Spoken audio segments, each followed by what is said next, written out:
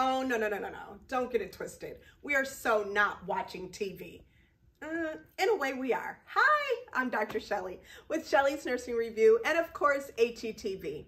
And you had homework, remember? Yeah, Grey's Anatomy. Which one? Oh, this is our second case study because you're taking the NGN Next Generation NCLEX exam and you are supposed to watch season one, episode two, The First Cut is the Deepest on Grey's Anatomy. And then you were supposed to subscribe and hit the like button and follow me over here, all the way over here, so you and I could do a case study because you are responsible for knowing this next generation NCLEX exam.